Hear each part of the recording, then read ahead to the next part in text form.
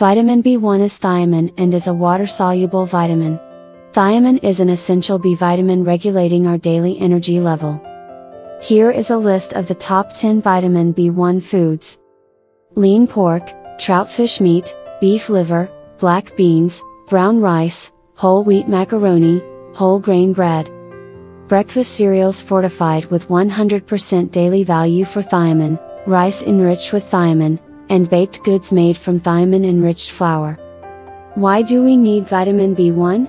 Thiamine is essential for producing energy from carbohydrates in all human body cells.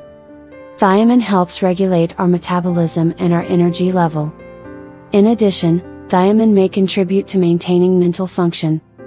How much thiamine do we need? The recommended daily allowance for adults ranges from 1 to 1.2 milligrams daily.